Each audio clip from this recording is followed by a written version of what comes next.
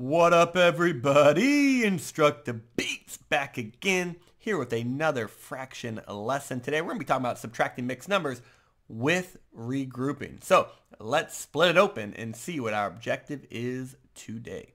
Our objective today, today I will be able to subtract mixed numbers with regrouping by lining them up vertically.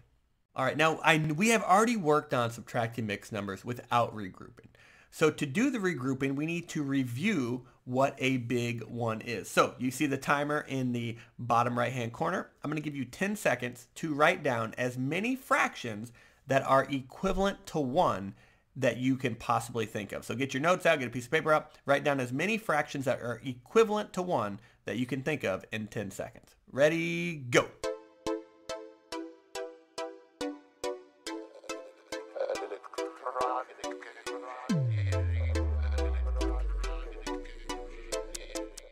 If you remember from previous lessons, anytime you have a fraction where the numerator is the same as the denominator, that is equivalent to one whole. Okay, and we call that a big one because what we do here at Instructabeats is whenever we see a fraction like that, we draw a one around it. It's actually supposed to be one, although it looks like a rectangle because we're not that great at um, art yet, but we have a growth mindset. So you could have written 2 over 2, 3 over 3. And again, we just like to put this 1 around it because we know that really it's one whole. It's just kind of masquerading like it is a fraction. You could have done 100 over 100. But again, anything you did, as long as the numerator and denominator were the same, is going to be a fraction that is equal to 1. And we're going to need to know that today as we regroup. All right, our steps that we learned last lesson when we just learned about uh, subtracting mixed numbers. Step number one, we're going to line up the whole numbers and fractions and circle the numerators. That doesn't do anything mathematically for us when we circle the numerators, but it just helps us to figure out what digits we are supposed to be subtracting. Step number two, we're going to subtract the numerators. And as we do that, we're going to ask ourselves this question. More on the top, then no need to stop. More on the floor, go next door and get one more. Now, typically when we talk about whole numbers, we say get 10 more because we're a base 10 number system. But we will show you an example of why we say get one more when you're borrowing from a mixed number. And then uh, number four, subtract the whole numbers, right? Boom, we're done. Let's take a look at a problem we did in our previous video. So right here, okay, I'm subtracting mixed numbers. I know my denominators have to be the same because that's the number one rule of adding or subtracting fractions. So all I need to do right here is line them up vertically, right? And you can see my steps right here. So step number one, I'm going to line them up vertically, making sure my fractions and my whole numbers are lined up, just like I would if I was subtracting whole numbers and I was lining my place values up.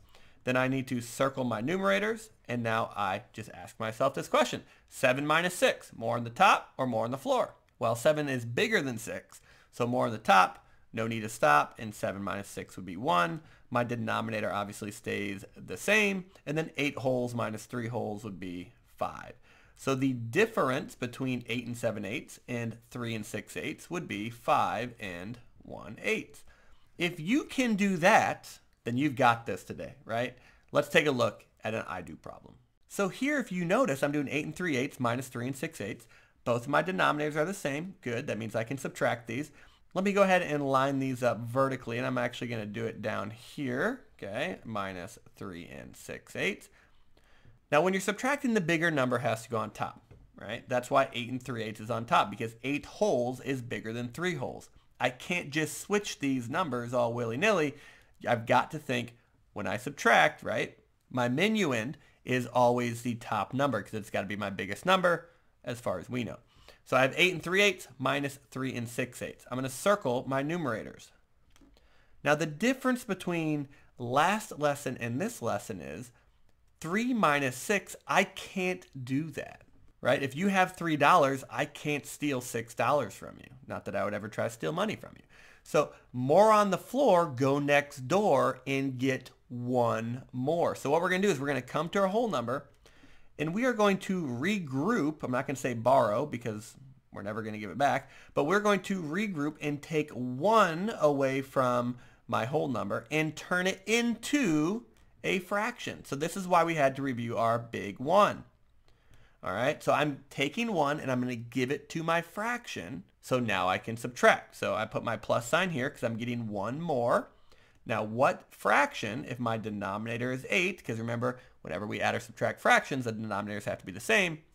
That means my denominator is 8, so my big 1 would have to be 8 over 8. All right, so I'm taking one whole, I'm giving it to the fraction, but it's a big 1, right? I'm turning the 1 into a fraction. So I did 8 eighths because my denominator is 8, and now I can add these together. So now I'm going to rewrite this. I now have 7 wholes. 8 plus 3 would be 11. My denominator stays the same. So I have now turned 8 and 3 eighths into 7 and 11 eighths. These, this represents the same value. I didn't change anything. I just regrouped to my fractions. If you ate 7 brownies and 11 eighths of another brownie, and I ate eight brownies and three eighths of another brownie, we've eaten the same amount, right? Because I had to make an improper fraction right here. Now, all I need to do is rewrite my bottom fraction, or mixed number. I'm going to circle my numerators. 11 minus 6 is now 5. My denominator stays the same. 7 minus 3 is 4. And the difference of 8 and 3 eighths and 3 and 6 eighths is 4 and 5 eighths. Okay. The only difference today is, and this is why we've lined it up vertically the entire time, because if you do this vertically, it makes so much more sense and it's easier to see what happens when you're regrouping from your whole number to your fraction. All right, that's the I do problem. Let's do a we do problem together. Okay, here we have 2 and 2 6 minus 1 and 4 6. Again, my denominators are the same, so I can subtract these. So I'm going to go ahead and line it up vertically. And the biggest mistake people make when they're doing this is they think to themselves, wow, wait, I can't do 2 minus 4. So they go ahead and switch the numbers. That way they don't have to borrow. But here's the problem. 4 minus 2 is 2 now, right? But you can't do 1 minus 2. Again, you've, we've known this since we've subtracted whole numbers. The bigger number always has to go on top. The other thing a lot of people like to do is they like to decompose their numbers, okay? And that's great. But then when they do that, what they do is so they don't have to borrow, they accidentally switch to fractions. That's why I don't teach it that way either. So let's go back to lining up vertically. Let's circle our numerators and let's think to ourselves. 2 minus 4, more on the top or more on the floor? More on the floor, go next door and get one more. So I'm going to take, my 2 is going to become a 1, and I'm going to take the one that I am going to regroup and it's going to turn into a fraction, right? My big one. For this one, my denominator is 6, so then I want to use the big one, 6, 6. Now, again, I put the plus sign there because I'm getting one more. I'm not getting 6, 6. I'm adding 6, 6 to what I already had. Now, my new whole number is 1. My fraction is going to be 8, 6 because 2 plus 6 is 8. My denominator would stay the same.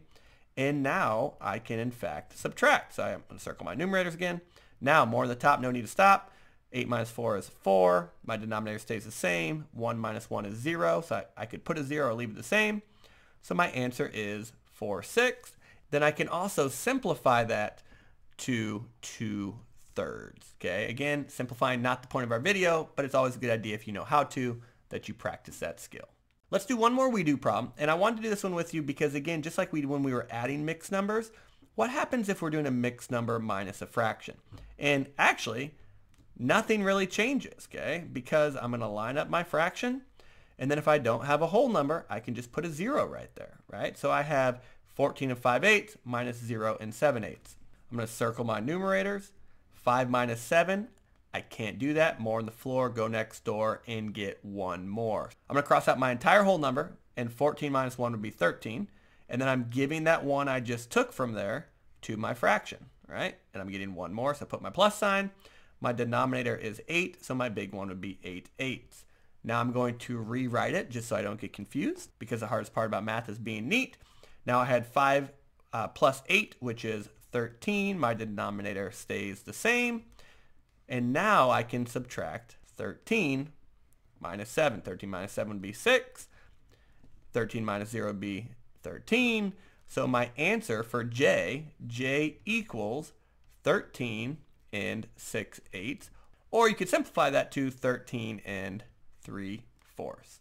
Again, I'm just asking myself after I line up vertically, more on the top or more on the floor. It's the same thing over and over and over again.